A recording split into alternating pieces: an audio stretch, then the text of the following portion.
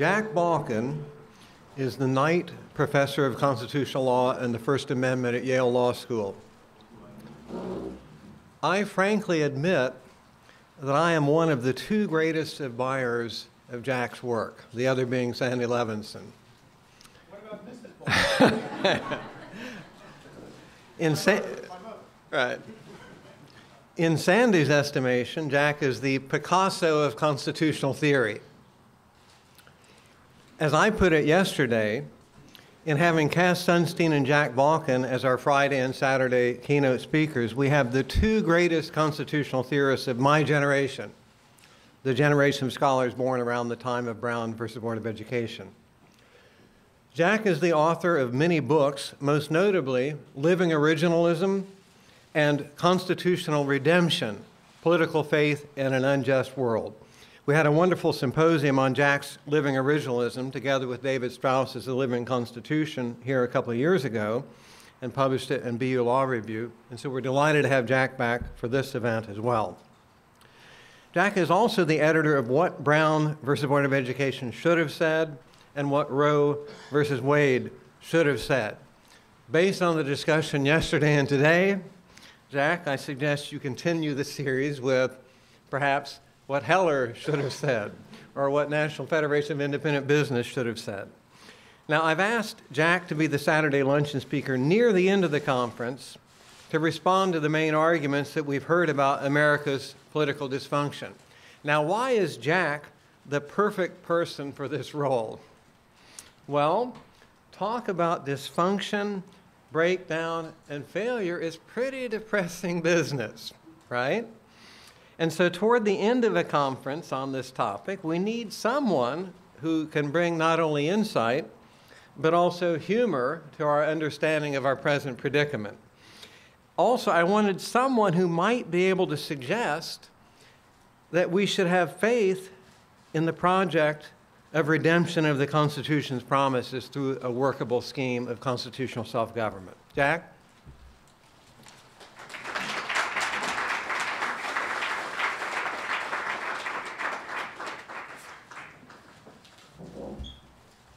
I have many different electronic devices to turn on before we can get started, so we will do one a, we'll do them one at a time.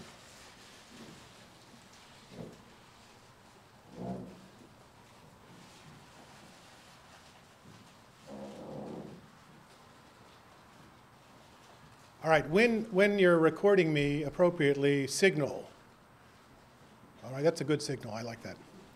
Um, this is, uh, it's very difficult to be asked by Jim Fleming to do something like this. He told me, I don't, I, I, I, want, I wanted you to talk because you're dysfunctional. Uh, you never prepare anything in advance, so I want you to listen to what everyone says, and I want you to summarize it all and respond to it.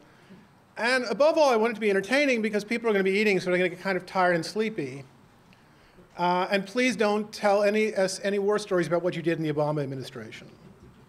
So I'm going to do the best I can. So I've got a lot on my plate here, and I'm going to try to have to explain to you what I think about all this, uh, trying to build on what other people have said. Um, so my, the title of my talk for today is The Last Days of Disco. Uh, the Last Days of Disco, how many of you even remember disco? Right, very good. When I, Kenmore Square used to be the, uh, the site of all the uh, disco uh, places where you'd go and dance. Uh, but in any case, The Last Days of Disco uh, is a Whit Stillman film, which is about basically, it's like a coming of age film of young people in, the, in the late 70s, early 80s who don't really know what they're doing, and, and you know, they, they're transitioning from a more difficult time, and they finally get to the other side, and it's kind of a comedy of manners and all that. But The Last Days of Disco also refers to the period of the late 1970s and early 1980s, uh, when in fact the United States did go through a transition, a very difficult transition uh, on the other side. And at the beginning of the, the last days of disco, um, most people thought the United States was thoroughly ungovernable. Uh, and by the time uh, disco is over, um, nobody says that anymore. That is to say that uh, we, there was a previous regime of dysfunction. It was also the end of one constitutional regime and the beginning of another constitutional regime. And, and, and my message for you today is simply that that what looks like constitutional dysfunction is actually constitutional transition. It's a point that Mark Graber made yesterday. Uh, that it's a, trans, uh, it's a movement between two constitutional regimes. Uh, this particular transition is going to be very difficult for reasons I will explain a little bit later, drawing on Steve Skowronek's work. Uh, but we, in fact, will get through it. Uh, and when we get through it on the other side, it will look quite different, and people will not, in fact, say that we are in a, a system of constitutional dysfunction anymore. Uh, however, I'm, it's not an entirely Pollyanna story because, in fact, because this particular transition is going to be long and hard and it doesn't have the benefits of some previous transitions, um, there'll be a lot of scars left over by this particular transition. Uh, there'll be a lot of kludges, uh, and so what we will get will not be anybody's idea of a perfect um, new constitutional order, but one that bears the traces of the past in the way that lots of transitions have. Well, that's the big idea. Um, now I'm going to go into some more detail, but first I want to talk a little bit about my dear friend Sandy Levinson's work, and then I want to talk about the idea of constitutional transition, and here I'm going to build on uh, Steve Skowronek's work and also Mark Graber's and a little bit of Shep Melnick's too. So that's the idea. That's the, that's the, uh, that's the stew, and occasionally I'll make references to disco. Uh, for, so those of you so you can stay awake. Uh, first, let me begin by talking about Sandy. Uh, first, I have to address the question that Sandy addresses, which is whether or not we have a truly dysfunctional Constitution, and maybe the problem is the Constitution and not anything else. My view is the same as Mark's. The problem is the constitutional order, it's not the Constitution. Uh, Mark uh, mentioned yesterday that Sandy's uh, bar mitzvah speech in 1954 uh, did not presume a, con- a dysfunctional constitution. That's actually correct, Mark. I, I actually have read Sandy's bar mitzvah speech from 1954. It's available on the internet. Uh, the title of his bar mitzvah speech was Our Dysfunctional Torah. Uh, how, how Holy Scripture uh, gets it wrong and how we, the chosen people, can make it better. That was the uh, original speech. Uh, did not go over very well with the rabbi but that's okay. Uh, anyway, Sandy's theory, uh, which is that our problems arise from a dysfunctional constitution, uh, depends on an, an, important distinction, two different important distinctions actually, which I think are not the same. One is the distinction between the constitution of conversation and the constitution of settlement. Um, and the constitution of conversation is what law professors care about, you know, cases, things like that, things that you could litigate. The constitution of settlement is things that you don't litigate, uh, right? Um, that are, they are therefore they're not in constitutional law case books. And the other distinction which Sandy makes, which isn't as well made, but which I will make here, is the distinction between the hardwired Constitution and the, the Constitution that are not hardwired. I would call that the Constitution of construction. That is not susceptible to constitutional construction.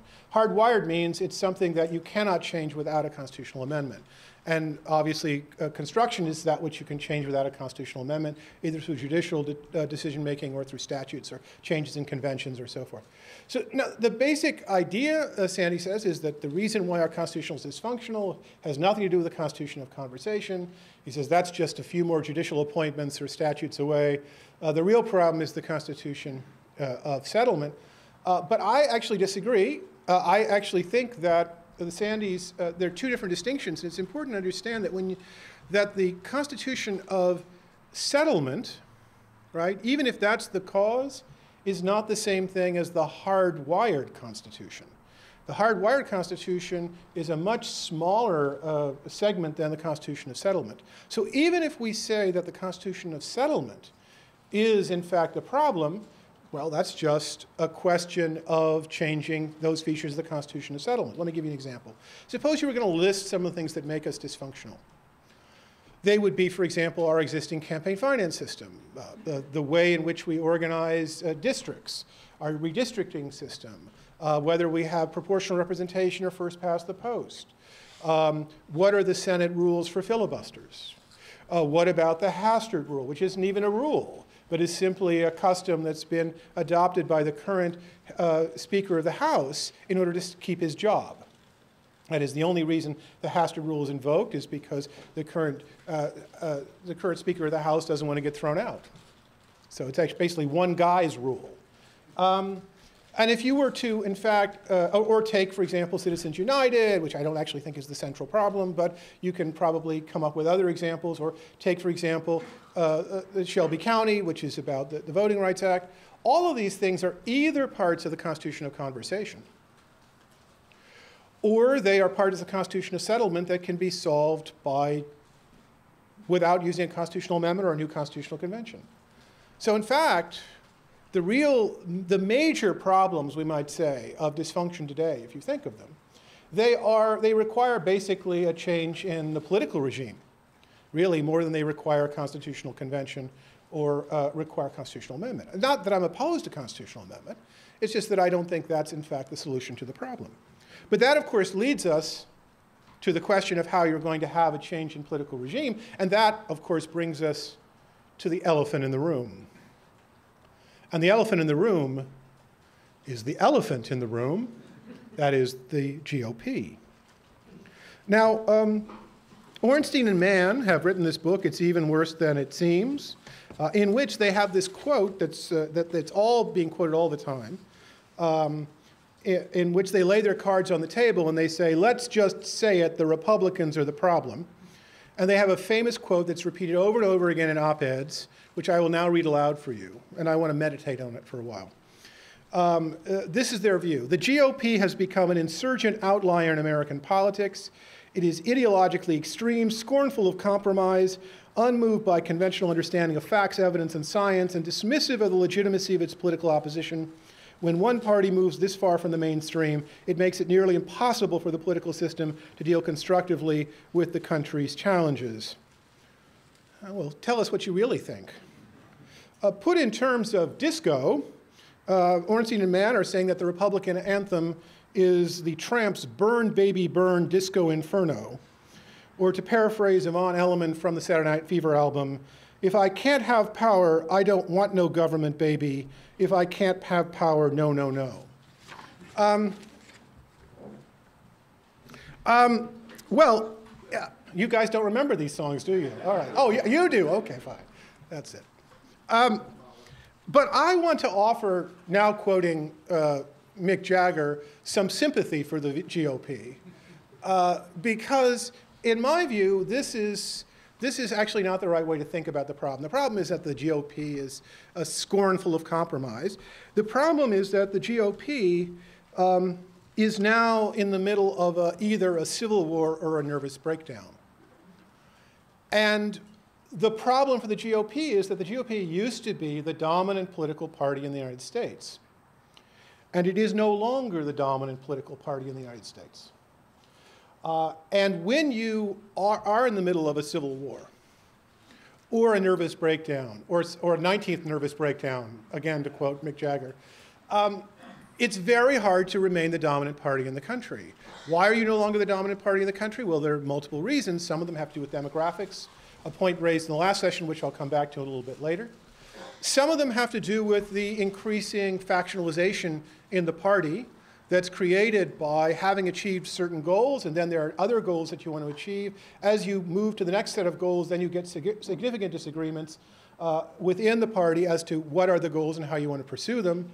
Uh, and it's just the case that as you move in history, the situation you face is different and it causes splinters that weren't there when, in fact, you formed the original coalition. So, in any case, what you have is a, a dominant party that's basically losing its edge. And this is another way of trying to understand what's going on. What you see is a dominant party that was once dominant, which is, sees that it's losing its political dominance. It sees that the other party is ascendant and it is now attempting to do almost anything it can to prevent that from happening. It is throwing anything against the wall to see if it sticks. It is, as you know, kitchen sink metaphors would be appropriate here. And this is another way of trying to understand the two government shutdowns in recent American history, the one in 95, 96, and the one in uh, the, the uh, default, the debt limit crisis of 2011, which becomes the debt ceiling crisis plus shutdown of 2013 one way of understanding that was an attempt in the face of the first Democratic president elected since Reagan to attempt to try to run domestic policy out of Congress instead of running it out of the White House.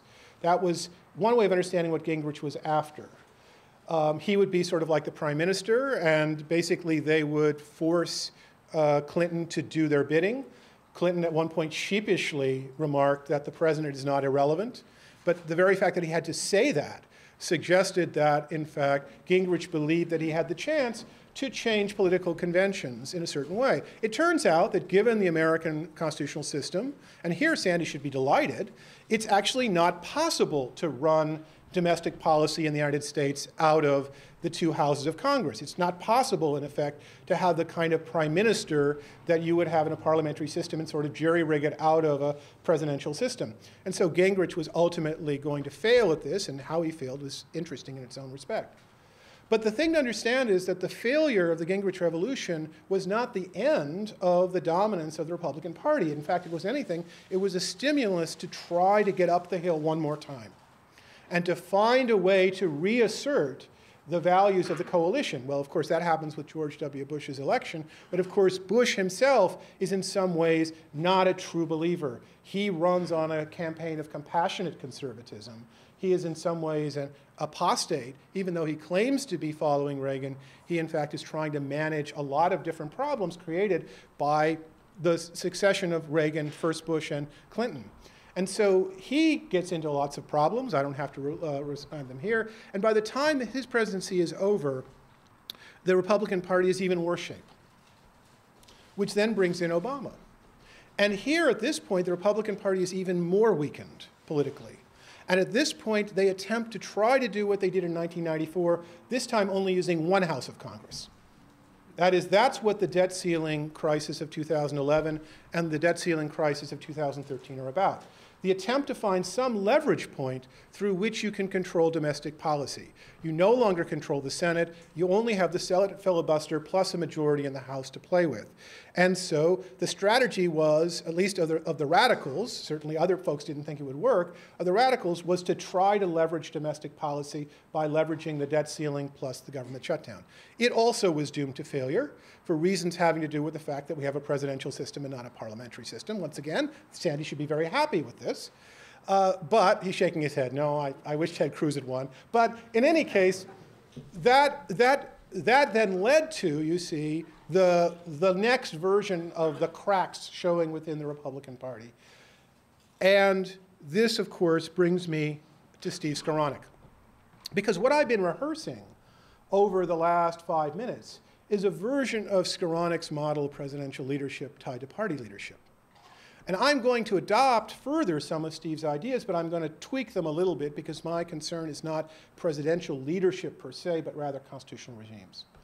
But Steve's model, which is extremely useful, and I, I, it's very insightful, and it's helped me a great deal in thinking about these things, has two big ideas. One is a cycle of presidential leadership styles within a political regime, you start with a ground clearing, disruptive, what he calls a reconstructive president, and then you end with a president who basically can't hold his coalition together, a disjunctive president. And then his other idea, very important, extremely important understanding what's going on right now, is what he calls the waning of political time. That is, the fact that each attempt at ground clearing, at, at starting out in a new direction, at disrupting, um, is weaker and weaker each time, especially in the 20th century, so that FDR really can't uh, destroy. He can't engage in the creative destruction of someone like Andy Jackson. And Ronald Reagan can't even muster that much creative destruction. And so that idea is coupled with the idea of cycles in time. Right, and thus bringing us to the present moment, in which Steve suggests that, that even if one hoped that Barack Obama would have this kind of ground clearing, uh, disruptive, creative role, he really can't do it. Right. So again, to quote Disco, um, uh, Steve's vision of the reconstructive president is like uh, George Clinton's uh, vision in uh, Parliament Funkadelic, uh, tear the roof off the sucker and force the other party to give up the funk. You see. Um, and, and, his point is that as you go through these cycles, it's increasingly more difficult to tear the roof off the sucker. Right? That's, that's a way of understanding it. So um, that would help us understand, in some sense, what's going on. We have a, a, a successful political regime from not beginning in roughly 1980. The regime goes through uh, cycles. Uh, it leads to various forms of oppositional opposition by the Democratic Party, but still rather weak. Um, and the idea is that it chips away eventually. The old regime uh, breaks apart, it factionalizes, it radicalizes, and then eventually, finally, the next oppositional leader who comes along would eventually be able to displace it through a ground clearing act. Only the problem is the institutions have gotten so thickened, and there are so many kludges, we might say, in the system, that it's no longer possible to do that traditional ground clearing. And that is a way of understanding exactly where we are today and it makes a lot of sense. Um, I should point out, this, I don't know if this is central to Steve's view, but it also strikes me that as you get, as, the, uh, as I said before, as a party becomes more factionalized, it also tends to become more radicalized. That is, there are, there are parts of the party that really says it's really time for us to get what we came here to get. And so they really push hard. If you can think about the Democratic Party, say between 1968 and say 19 uh, 80, you'll see elements of the Democratic Party really wanting to, to perfect the social democracy in ways that didn't seem possible. And 1968 is not seen as a repudiation of the possibility of perfecting this world, but rather as a stimulus to actually try to get over the hump and do it. Well, it doesn't turn out that way, in fact. Uh, and certainly Jimmy Carter is not the man to achieve it. All right, but if that's basically right, and I think that, that Steve has gotten most of this basically right, does that mean that we are not going to have a new transformation? And I think the answer is no, and this is where I'm going to slightly diverge from uh, Steve's model. Because my interest is in not presidential leadership, which is Steve's primary concern, the cycles of presidential leadership and the limits of what presidents can do and the authority that presidents have given the circumstances in which they find themselves. That is his project. My project is constitutional regimes. What are the basic commitments of a constitutional order? It's closer to what Mark is interested in. What are the basic agendas? What are the, uh, the commitments, to borrow a, a, phrase from Steve, of ideology and interest that are characteristic at a certain time? What, what are we trying to do, and what are we trying to use the judiciary to do in shoring up the commitments of this particular regime? So if we think about if we get rid of the transformative president in Steve's model, and instead we think about six other features of a regime, here's what we get. I'll tick them off. You get a transformation, you get a new dominant party, that might be the Democratic Party. You get new forms of party organization, that would be organizing for America, the use of the internet. Indeed, one, one view that I've had, because I'm a techie, is that the new party will no longer be organized around patronage as it was in the 19th century. The new party is a database. That is, the new party, what holds it together, are, uh, are database techniques that allow you to figure out plus surveillance, right? Actually, you know, uh, in fact, Nancy Rosenbach talked about this yesterday, in which you organize the party in terms of getting information about voters, likely voters. You create a database, you engage in surveillance, and that way you basically organize your party around the possibility of using information systems. This is what we see in our world today. This is the way in which parties will be organized. You can see that such a construction of a party is very, very different than the Jacksonian mass party. It just looks very different, and it works very different, and it creates all sorts sorts of real problems. One of the problems is who are you going to share the information with, right? And so the control over the databases actually becomes extremely important in this world. So that's the second point. The third point is shifts in the demographics of the dominant party. Well, that's something that was touched upon in the last session and something that's quite important in understanding what's going on. The United States has been undergoing demographic shifts for some time.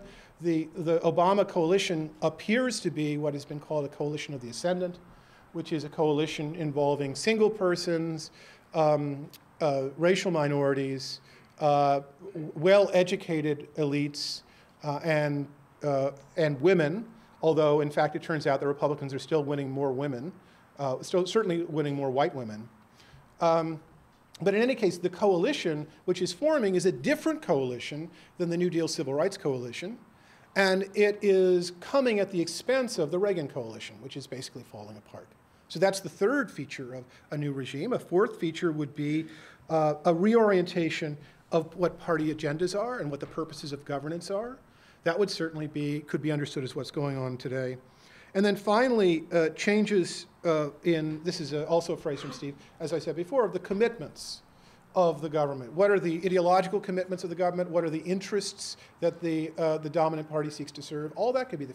And then finally, for those of you who are con law uh, mavens, uh, changes in the composition of the judiciary and what the judiciary is enforcing. That is to say, one role of a, a federal judiciary in a regime is to enforce the regime's commitments. So you can think about the, during the Reagan administration, the Reagan regime, excuse me, uh, conservative judges and justices are enforcing federalism commitments, property commitments, uh, a particular conception of free speech, a particular conception of presidential power. Uh, if you have a new regime with uh, folks like Sotomayor and Kagan in it, uh, it'll probably be uh, enforcing a different set of commitments uh, right, and which we can talk about a little bit later. So all of that, you see, still remains, even if we get rid of the idea of a reconstructive, ground-clearing, Andy Jackson style president. Even if we don't have the creative destruction of the reconstructive president, we could still have all these shifts. And so in that sense, uh, it's the, the cyclical part of Steve's model still might exist, even though the political time, the waning of political time model doesn't. But it, it leads to a very interesting problem. And here's the problem it actually is important in American democracy as opposed to, I suspect, in other uh, parliamentary systems. And I'd be very interested in what the comparatives have to say about that.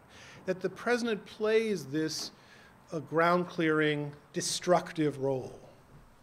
Um, and so imagine a world in which you no longer have that kind of actor in the system who no longer comes in and sweeps away the, the chessboard.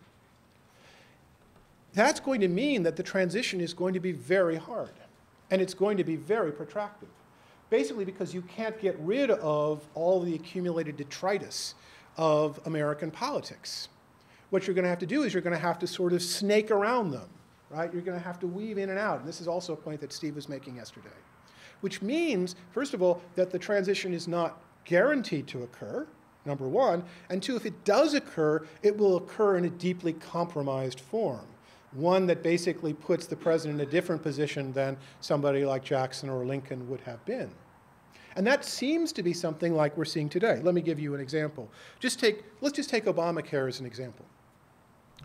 Obamacare is what uh, Steve Teles calls a kludge. It's kludgeocracy. Instead of providing uh, you know, Medicare for all, or a single payer system or something that would actually make some sense. Instead, what it is, is it's a kind of three layer pie with expansion of Medicaid plus um, Medicare kept where it was, plus some changes in Medicare, plus uh, the, the, uh, basically bringing in the insurance companies, private insurance companies, and adding a bunch of surpluses. It's just an enormous policy kludge. And the reason was because there were so many blocking points that that's basically what they get, even when they had 60 votes in the Senate and a majority in the House. All right? And then, of course, what we discover is there's been a difficult, some difficulties, recent unpleasantness, we might say, with the rollout. Right? And so the fate of this particular exercise of state building is as yet unclear. It could be the case that all of these kinks are worked out, and it turns out to be a much beloved feature of uh, American uh, politics, just as it is in Australia and England and other places. Or it could uh, turn out to be, instead of a BFD, uh, as Joe Biden would say, a BF disaster, you see? In that case, you see, what will happen is you'll get a resurgence of the old party. The, the, the Republican Party will reform, and it will get a second wind and it will keep the fight going for a long time, right? And that's, that's possible. It's certainly possible today. Um, it could happen. Or it could be that you'll just have this long slugging match and eventually the Democrats uh, will win. What could happen? We don't really know the answer, but it's very much like watching a fight between two exhausted fighters, neither of which can land a knockout blow or watching a Red Sox game in which neither the Red Sox nor their opponents seem to be able to score the winning run, and we're in the 18th inning. This is a way of understanding what American politics is like today, and that's why you call it dysfunctional. But what it actually is, it's the birth pangs of something new. Well, let me um, suggest that Mark may be right that we may be moving into a new system that starts with polarized parties and that the only way in which energy and initiative can actually be restored to government is if one of these polarized parties wins everything and then basically imposes its particular constitutional vision. And which one it will be, we don't know. My suspicion is that if that were to happen, the parties would not stay polarized very long. Because again, the cycle would renew and there would be differences within each party coalition, and we would move away from polarized parties to something a little bit less polarized. But in the short run, that's what would happen. Well, who's most likely to win this struggle? Who's most likely to score a run in the bottom of the 18th inning? Right? The most likely party right now, but not certain, would be the Democrats for the demographic reasons we discussed earlier. That is, the demographics are on their side. And unless they screw things up just terribly, they will eventually be able to prevail. But nothing is guaranteed. In other words, they have advantages, but they don't have certainty. The last things I want to talk about have to do with some of what I was calling the scarring or the side effects of a long, protracted struggle between the parties in the creation of a new regime. And they have to do not with Congress, but with the executive on the one hand and the judiciary on the other. And that's where I, I'm going to end. On the executive side, well, what do you think happens when Congress is thoroughly unable to get anything done? And the president can't rely on Congress to do even the most minor fixes to the health care program, or even to fund the government, or even to make modest adjustments, right, in order to get you out of the problems created by the sequester. What happens is the president starts taking on more and more responsibility for solving every feature of governance to himself. The president starts interpreting statutes in ways that are rather controversial. The president starts using the administrative state to basically create waivers and exceptions. And he basically says, I'm going to do this all myself. I'm not going to ask Congress for anything. And so what happens is he starts to act that the way he acts in the foreign policy space, in which he has enormous room to run. Now, Sandy and I wrote an article together called Constitutional Dictatorship some years ago. And I remember we had this long discussion. We both agreed that, at least in the area of foreign policy, the president basically can do it most of the way himself. He can, you know, he's hemmed in in certain ways, but he has a lot of room for action. And one of the disagreements Sandy and I had was over the president's uh, dictatorial powers, we might say, in the domestic policy space. And we both agreed after some haggling that, in fact, whatever the president's policy powers are domestically, they're certainly much less than they are in the foreign policy space. But what's interesting is that if you create a completely stymied Congress, the temptation is for the president to start to act more and more like a person who's going to do everything. And what will suffer in the process is the rule of law. That's what will suffer in the process. And those precedents that are created during this period won't go away when you get a new regime.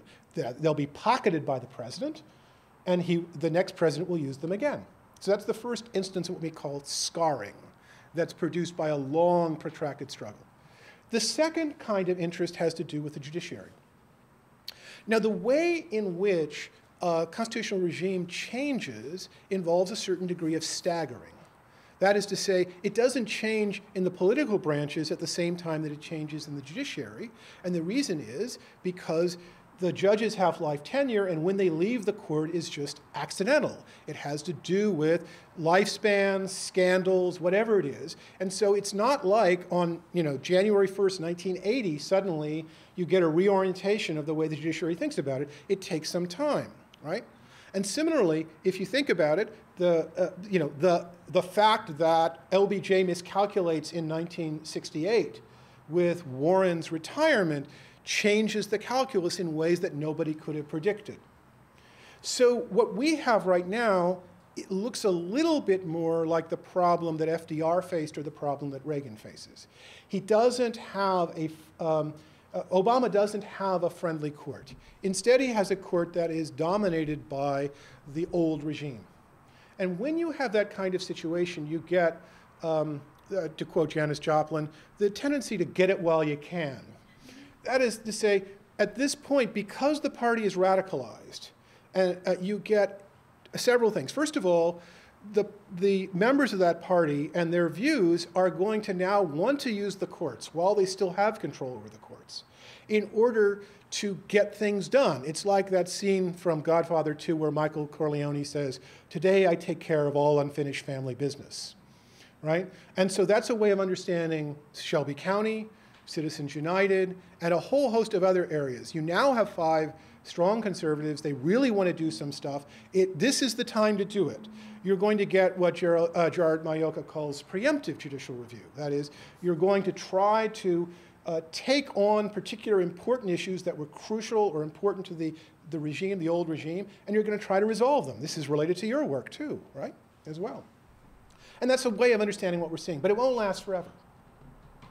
Um, what will, and, and therefore we can also expect significant struggles between the presidency and the judiciary until such time as you get uh, the Democrats being able to appoint most members of the court. But in the meantime, hold on. It's going to be a bumpy ride. Which leads me, of course, to my conclusion, which I will also express in terms of disco. Right? And, and here's my view. I composed this myself. The last days of disco have much to teach us about our constitutional system if we will only listen to them and dance to them. True, we are not yet in a boogie wonderland, but the possibility of a new regime is still staying alive. Sometimes it seems as if the old regime never can say goodbye. No, no, no. That we are in what Professor Diana Ross once described as a love hangover, or what Dr. Michael Jackson has called a real killer, diller, chiller thriller tonight. Or perhaps, as scholars of the Australian constitutional system, the Bee Gees, have suggested, it must be the night fever. Some politicians, it is true, are uncooperative, like the village people, they want to be a macho, macho man. Are you listening, Ted Cruz? Others, like Dr. Jackson himself, won't stop till they get enough. Nevertheless, as Hot Chocolate once brilliantly put it, I believe in miracles and that we will turn the beat around and get ourselves to Funky Town. That's the way. Uh huh, uh huh. I like it. Uh huh, uh huh. And remember, I close with the words of the great political scientist Gloria Gaynor we will survive. Thank you very much.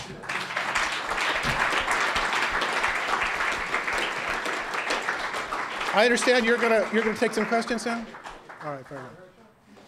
Well, thanks, Jack, for an interesting talk as always. I want to push you a little bit on the epistemological, push you a little bit on the epistemological premise or disciplinary premise um, of your, so basically what you do here is political science. Is not constitutional. That, that's, you say like it's a bad thing. No, I'm saying it's a wonderful thing. Okay. So I want to ask you, I want to ask you, I mean, so some of the ideas you expressed, uh, you said yourself are from Skowronek and Graber, and some of the ideas that you did not refer to directly are from, you know, this um, insurance theory of judicial review and right. hegemonic preservation. Basically, work, basically well. constitutional politics more than constitutional law. Right.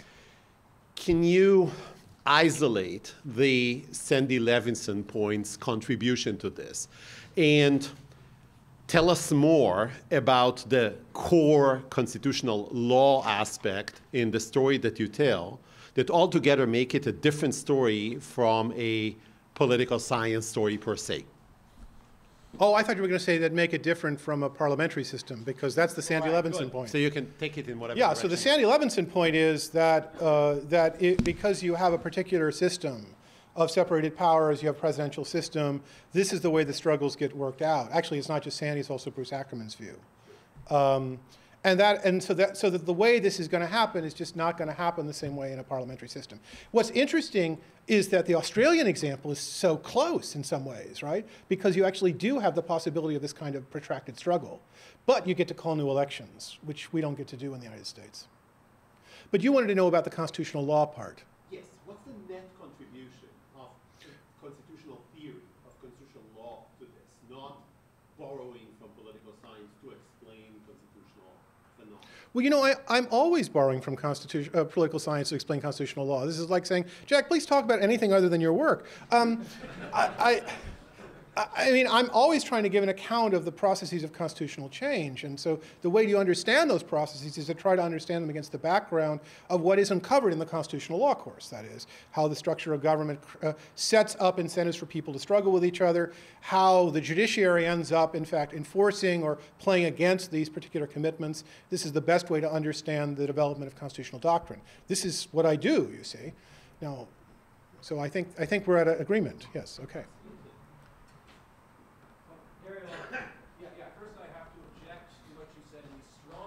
technical terms. Disco and funk, oh, uh, disco and funk are distinct genres, the same way that rock and punk would be distinct. So uh, mer- merging George Clinton in is, is, is inexcusable. Uh, but what I want to ask, what I want to ask him is either the third or fourth of the sixth developments you came up with was the notion of election by database. Yeah. I think it's fascinating. No, party, party as database. Uh, party, party as Party as database, yeah. which translates into election by database. What the parties do is then identify their voters. You put the buses where the voters are, and you bus the voters to the polls.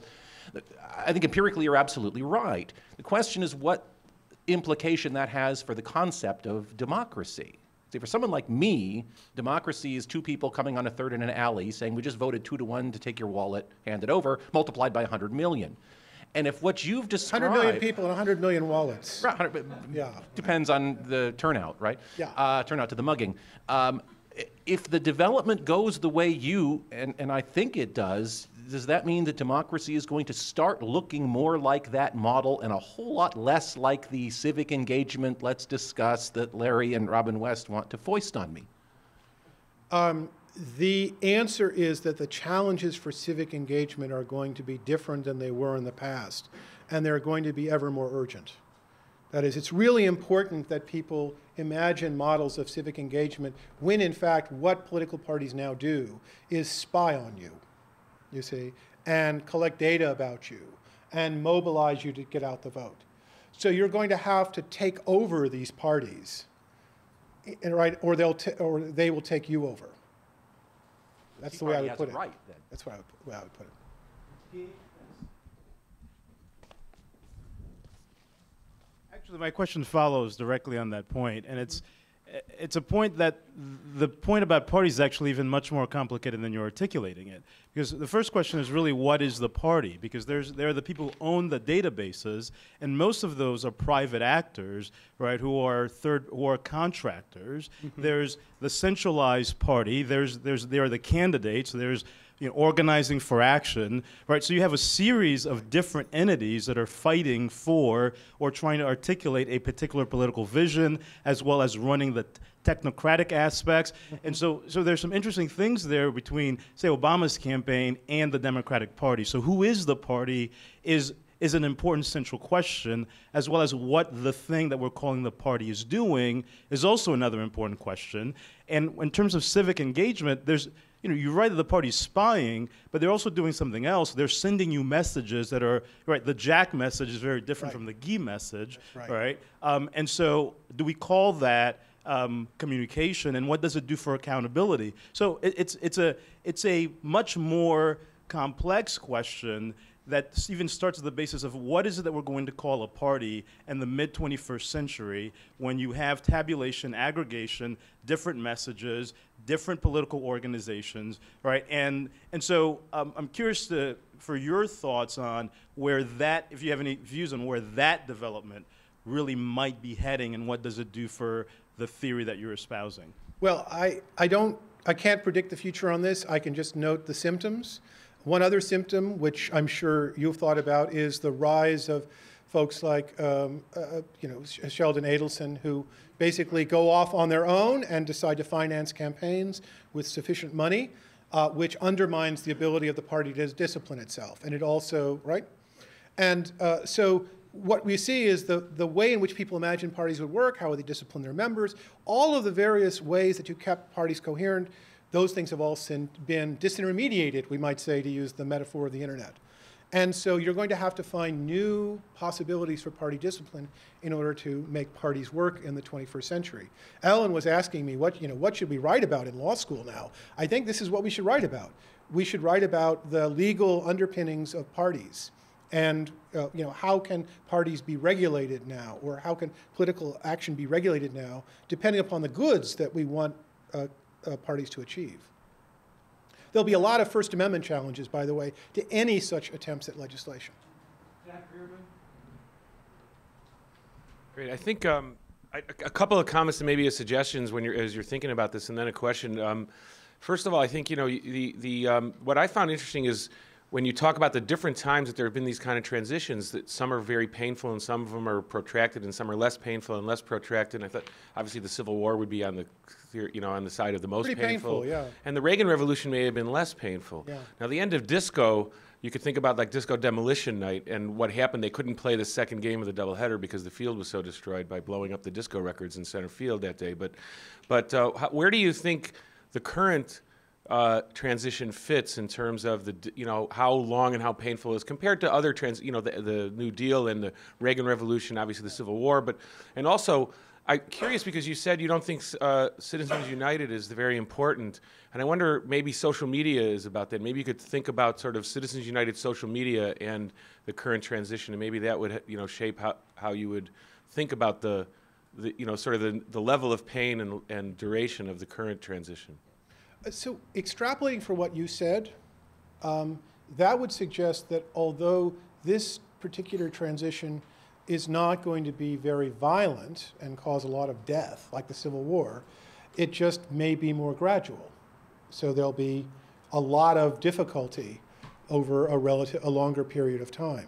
Whereas one thing about the Civil War is the Civil War, it's it's devastating, and a lot of the, the carnage occurs in a, a relatively short period of time, right? The, the New Deal transformation is somewhere in between. Uh, the answer is I, I don't have for you a general theory of how many people die in a transition or how much property damage occurs. Each one seems to me different on its own, uh, uh, have its own premises. My suspicion is that this one will be long and protracted, but everything. But I've always been wrong. You see, I've always been wrong. You, uh, the people here in this audience, probably have at least a good an opinion about this as I do. What do you anything about social media? That was sort of I know that was a, I had a lot of different things in the question, but anything about social media and the current transition? That's obviously that's a different. But what in particular, Jack? Well, it, what kind of role is so? Do you think social media? It's know, already yeah, played an, an enormous role in, in the political campaigns of the present. I suspect it will continue to do so in the future. Uh, Mark Graber, then Mike. This is it's sort of one a statement with a question mark, inspired by Rand's statement with a question mark. It goes like this: Might it be the case that what we call con law is a product of the New Deal order and the way it was structured? You mean So- the study of constitutional law as law? yeah, and instead with judicial supremacy, focused primarily on an elite group of law professors who do not think of themselves as interdisciplinary, mm-hmm. which I think was true when we went Yeah. To law school, that it's a distinctive project, that if we looked at the way con law was studied before 1930, it is organized very differently. And the very difference in looking who's at this group, this group could not have existed 30 years ago. So I'm wondering, you know, whether we are likely to see transitions in the very organization of constitutional studies as part of the tran- political transitions you're talking about. That's a very interesting idea. Um, it, I hope that people who study, who study constitutional law in law schools will be doing more political science and more, more comparative uh, constitutional law. These are all things, directions in which I'm moving, and so I hope other people do them as well. Um, I suspect, though, that the nature of the law school as a professional institution, that is, they produce legal professionals, right, will, however, always put a limit on the kinds of transformations that can occur.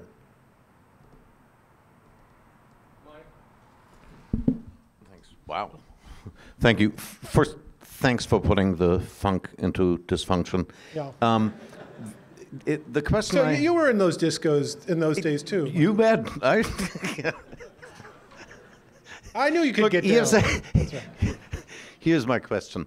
Um, don't you think that transition requires sort of some articulation of what you're transitioning to? Yeah. Some articulation of, okay, if we had our way, this is what we would want, Mm-hmm. right? And it just seems to me, I mean, what's striking Amer- about American politics right now is that neither side seems to be particularly well prepared to sort of answer that question, certainly not in sort of putting over s- some, you know, coherent program of that sort. I mean, you know, neither side is maybe sort of well organized for it.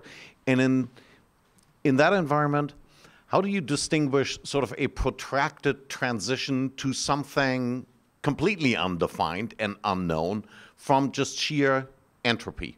It's just This is a very good point. I, here I want to, um, I listed a bunch of the features of regimes that um, remain even when you don't have a transformational president. There's one I left out. Uh, and this is also a feature of presidential leadership, so it's actually related to Steve's work.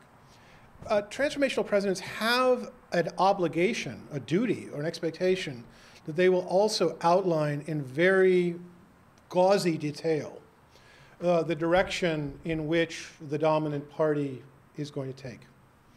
If you wanted to see what that looked like, you could probably not do worse. You not do, do better, rather. You could do worse than studying very carefully the rhetorical tropes in Obama's speeches, and in particular, the speech that kicks off his reelection campaign.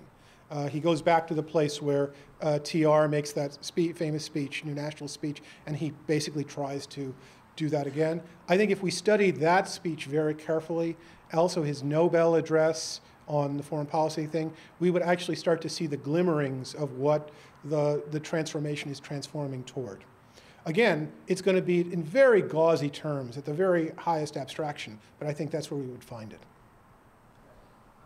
Mark touched it. And you have. Uh, Graham Wilson and Katie. uh, Graham?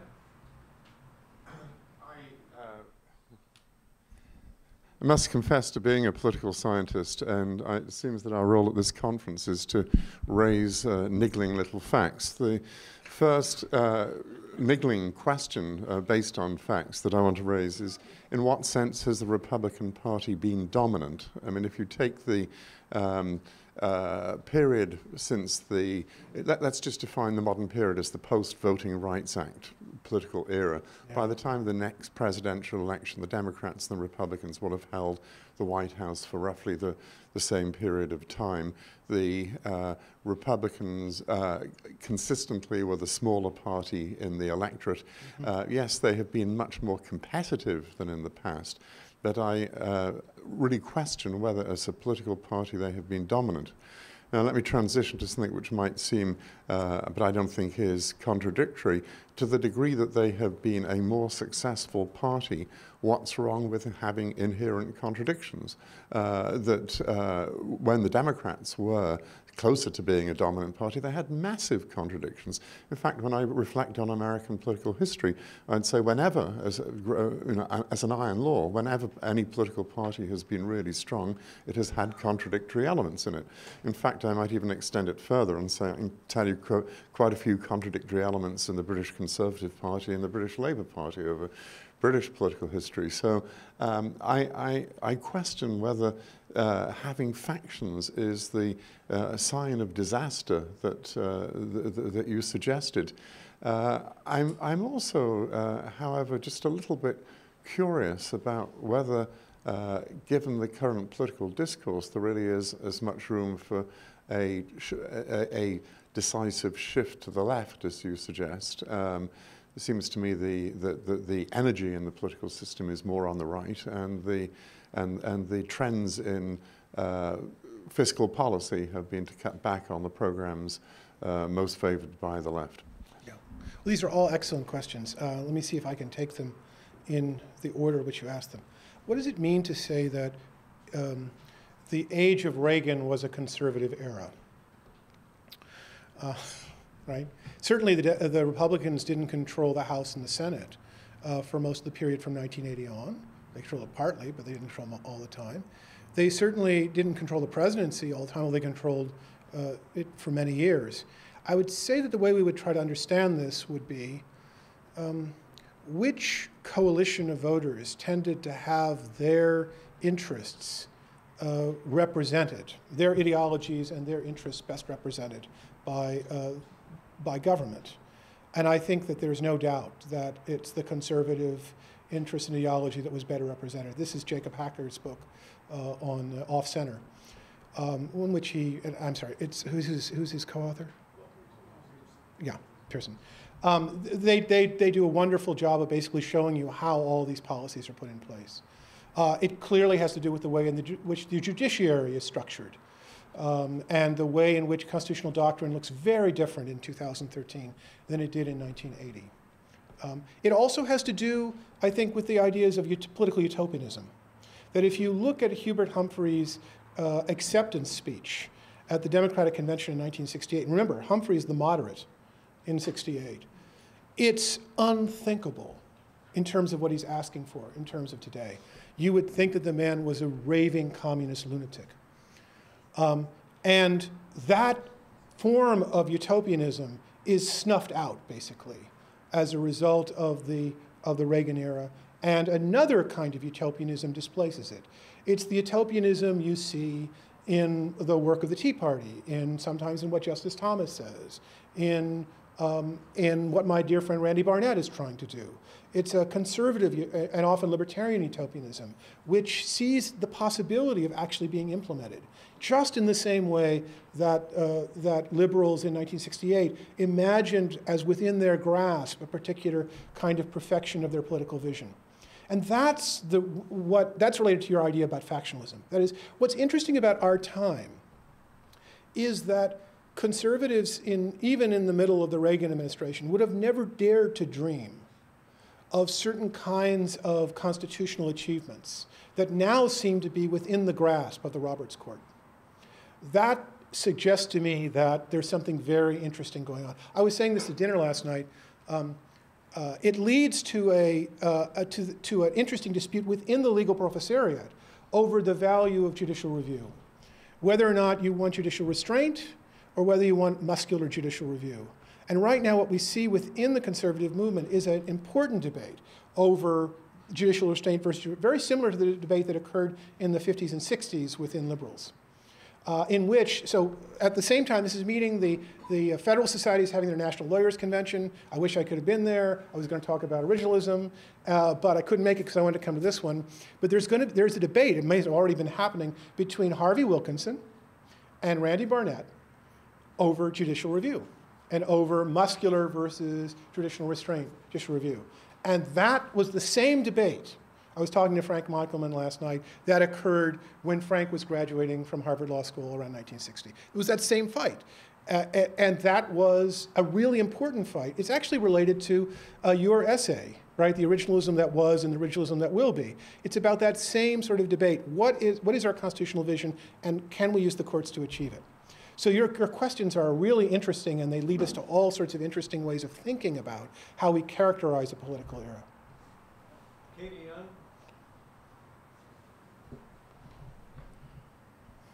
So my, my question comes from the, uh, say, outside looking in to US constitutional regime change, because you didn't mention um, any role that America's r- own role in the world is playing in this change. So we're told that to be a superpower, a country has to have economic power and military power and cultural power, and if it lacks one of those three things, it's no longer a superpower. So I'm wondering in your story what the changing role of America in the world is playing on America's own constitutional change. I, um, well, is the question whether we can imagine America remaining a superpower given the protracted struggle over politics in America? The question is if we assume we can't imagine that Right. remaining a what role that going to have in constitutional regime? Right. Um, I suspect that in the short run, the, what Sandy Levinson and I call the national surveillance state will continue apace. Um, what the long run looks like, I really can't say. It strikes me, though, that a situation in which the American government can't get itself together over a long period of time is inconsistent with uh, the United States uh, having an active role as a world leader. Well, this is terrific. We better break so we can have time to get back downstairs. It was wonderful, Jack. Thank you.